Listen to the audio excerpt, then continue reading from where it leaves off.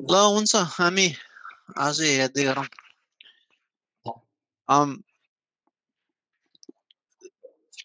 यो मुक्तिको विषयमा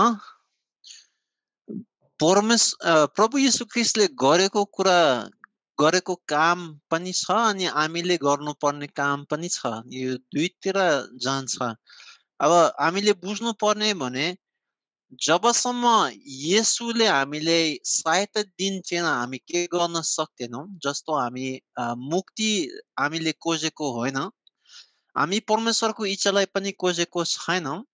उहाँले हामीलाई खोज्नु भयो तर उहाँले हामीलाई विश्वास गर्ने मौका दिनुभएको छ। जबसम्म त्यो मौका थिएन हामी कहिले पनि विश्वास गर्थेन। तर विश्वास गर्ने भने हाम्रो स्वेच्छाले पनि गऱ्यौँ अनि त्यसकारण अलिकति दुईतिर हुन्छ त्यो।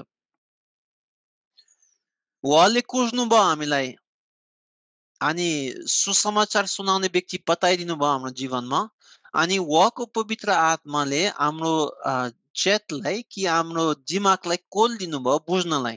तर बुझिसकेर त्यो ग्रहण गर्ने कि नगर्ने हाम्रो इच्छाको कुरा परमेश्वरले जबरजस्तै हामीलाई जित्दैन। हाम्रो आफ्नै इच्छा गर्ने दिनुहुन्छ। त्यस कारण परमेश्वर आउनुहुन्छ मान्छेको जीवनमा अनि ज्ञान बुद्धि दिनुहुन्छ सुसमाचारद्वारा। तर त्यो ज्ञान बुद्धि पाइसकेर त्यो व्यक्तिले ग्रहण गर्ने कि नगर्ने अब आफ्नै इच्छा गर्नु पर्यो। यो परमेश्वरको पछि लाग्ने कि नलाग्ने त्यो व्यक्तिको चोइस छ है एउटा उदाहरण हेर्न सक्छौँ यसको विषयमा तपाईँले एकछिन प्रेरितको पुस्तक सोह्र अध्यायको हामीले तेह्रदेखि चौध पदसम्म हेरौँ तेह्रदेखि चौध पदसम्म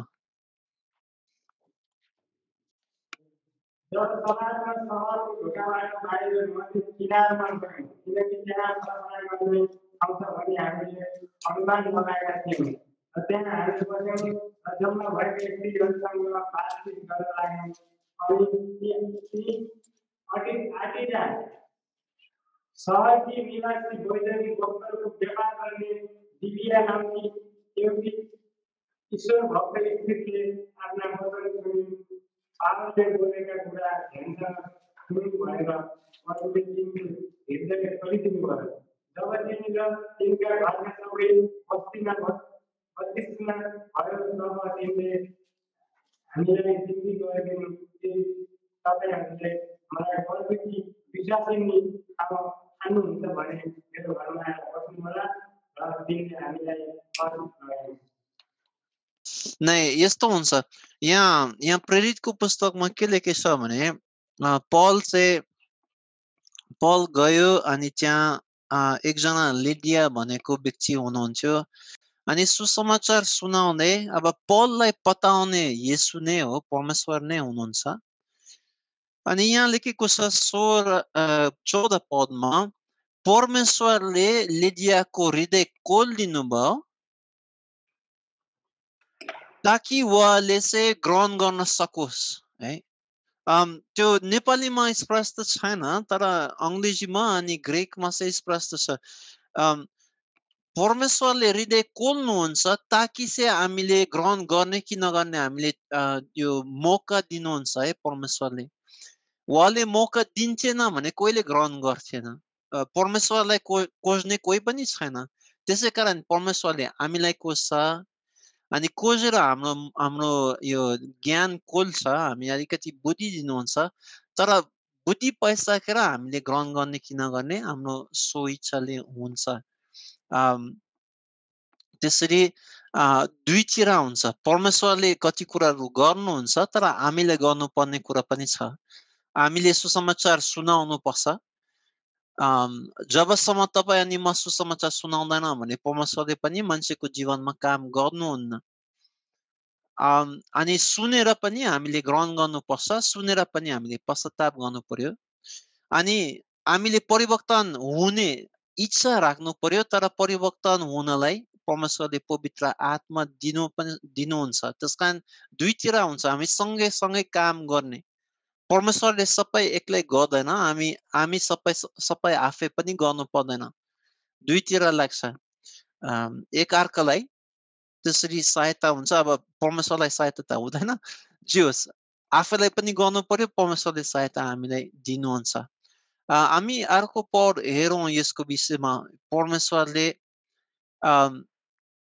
परमेश्वरले हामीलाई मुक्ति दिने सकको अगमबानी हामीले हेऱ्यौँ इजिक्यलको पुस्तक छत्तिस अध्यायको अठाइसदेखि बत्तिस पदलाई हामी पढ्नेछौँ मैले तिमीहरूका पितापुर्खाहरूलाई दिएको देशमा तिमीहरू रहनेछौ तिमीहरू मेरो प्रजा हुनेछौ र म तिमीहरूका परमेश्वर हुनेछु तिमीहरूलाई अशुद्ध पार्ने सबै कुरादेखि म तिमीलाई जोगाउनेछु म आज्ञा दिनेछु र अन्न प्रशस्त हुनेछ र म तिमीहरूमाथि फेरि कहिले अधिकार पठाउने छैन म रुखहरूका फललाई र खेतको अन्नलाई प्रशस्त तुल्याउनेछु यतिसम्म त्यो अधिकारले गर्दा जातिहरूका बिचमा तिमीहरू फेरि कहिलेसम्म पर्ने छैनौ तब तिमीले आफ्नो दुष्ट चाल र खराब कामहरूको सम्झना गर्नेछौ र आफ्ना पापहरू र घिनलाग्दो चालहरूको कारण तिमीहरू आफूलाई घृणा गर्नेछौ तिमीहरूले खातिर मैले यी काम गरिरहेको होइन भन्ने कुरा चाहिँ तिमीहरूले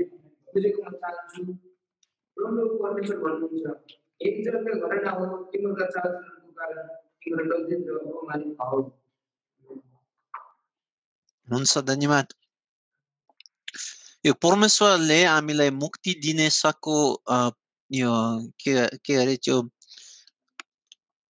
बिर्सिसक्यो ए ढिलो भयो यो अगमबानी हो सरी है अगमबानी हो यो अनि यो अगमबानीमा हामी त्यो चारवटा कुरा देखिन्छौँ त्यो बुद्धि धार्मिकता पवित्रता अनि उदारको विषयमा देखिन्छ। सुरुमा चौबिस पदमा के लेखेको छ भने अनि तपाईँले याद गर्नुहोस् म गर्नेछु म गर्नेछु म गर्नेछु गरे परमेश्वरले कसले मुक्ति दिनुहुन्छ? परमेश्वरले मुक्ति दिनुहुन्छ हेर्नुहोस् है। हामी हामी आफैलाई मुक्ति दिन सकिँदैनौँ।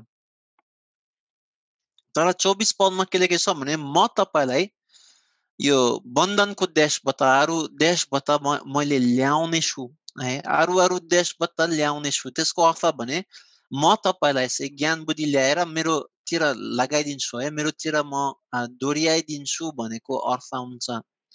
अनि पच्चिस पदमा के छ भने म तपाईँको माथि चाहिँ शुद्ध पानी कोर्याउने छु अनि तपाईँलाई शुद्ध पर्ने छु। तपाईँको फोहोरबाट मैले पकाल्ने छु भने यो मूर्ति पूजाबाट मैले तपाईँलाई क्षमा दिनेछु है त्यसको अर्थ पच्चिस पद भनेको धार्मिकता। प्रभु येसु ख्रिस्टले हामीलाई शुद्ध पर्नेछ हामीले शुद्ध सफा पानीले पकाल्नेछ अनि उहाँको रगतले हाम्रो क्षमा आउनेछ त्यस कारण हाम्रो पापलाई मेटाइदिनुहुन्छ। छब्बिस पद पवित्रताको विषयमा लेखेको छ म तपाईँलाई एउटा नयाँ हृदय दिनेछु अनि म मेरो आत्मा तपाईँलाई दिनेछु लेखेको छ। तपाईँको डुङ्गाको हृदयलाई हटाइदिनेछु अनि तपाईँलाई मासुको हृदय दिनेछु। हाम्रो समस्या के थियो? हाम्रो समस्या हाम्रो स्वार्थ हृदय थियो हाम्रो जारा।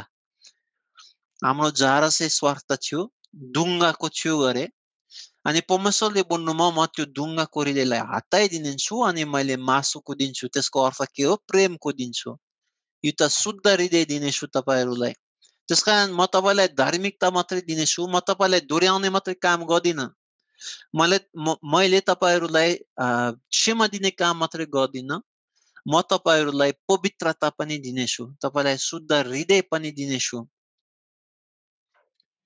सत्ताइस पदमा अनि म मेरो आत्मा तपाईँलाई दिनेछु ताकि तपाईँले मेरो व्यवस्था पालन गर्ने इच्छा गरोस् भनेर त्यस कारण यो त व्यवस्था पालन गर्ने इच्छा दिनुहुनेछ परमेश्वरले अनि त्यसैपछि त्यसपछि तपाईँले मेरो देशमा बस्नु हुनेछ त्यसको अर्थ भने अब स्वर्गमा आउनेछ है अठाइस पदमा त्यहाँ सिधै लेखेछ भने तर अर्थ त्यो त्यस कारण उधार दिनेछु तपाईँहरूलाई त्यहाँ चाहिँ तपाईँ मेरो मानिस हुनेछ म तपाईँको परमेश्वर हुनेछु। अनि त्यसरी म तपाईँलाई मुक्ति दिनेछु लेखेको छ। प्रशस्तको देशमा ल्याउनेछु। अनि यो बत्तिस पदलाई के लेखेछ भने यो मेरो निम्ति गर्छु। है तपाईँ लाज मान्नु पर्यो तपाईँको पापको कारणले लाज मान्नु पर्यो।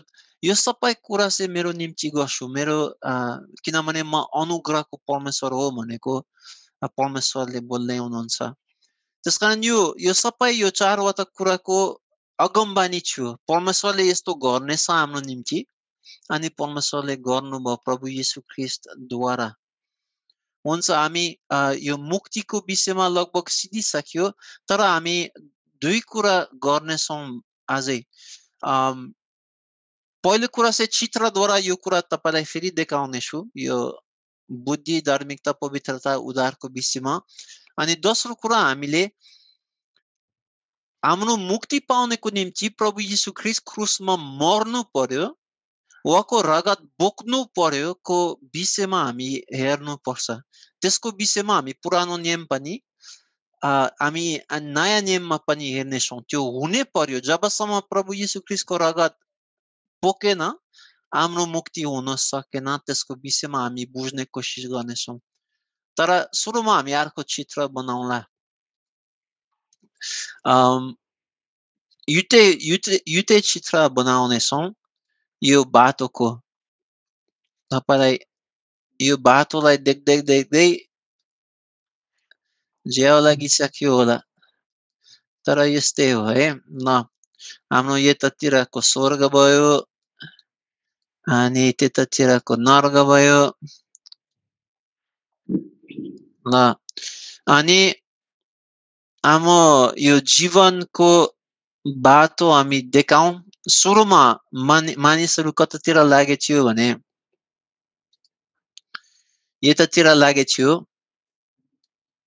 अनि यतातिर लाग्दै लाग्दै मानौँ यसलाई चाहिँ बिस वर्षसम्म बिस वर्षसम्म यतातिर लाग्नुभयो अनि बिस वर्षपछि ग्रहण गर्नुभयो। यो यो चाहिँ ग्रहणको ग्रहण गरेको है। यहाँ चाहिँ परमेश्वरतिर फर्किनु भयो यो मान्छे फर्केर चाहिँ हामीले सिकेको अनुसारले सुरुमा चाहिँ पाप धेरै गर्नुहुन्छ यो मान्छे। है यताउता यताउता यताउता हुन्छ है। पाप गर्दै पश्चाताप गर्दै पाप गर्दै पश्चाताप गर्ने। अनि बिस्तारै चाहिँ यो पवित्र आत्माद्वारा आफ्नै शरीरको इच्छालाई जित्दै गर्छ अनि त्यो पाप कम हुँदै जान्छ है। पाप कम हुँदै जान्छ। अनि एक दिन के हुन्छ? उहाँको मृत्यु हुन्छ अनि कहाँ पुग्छ? स्वर्गमा है।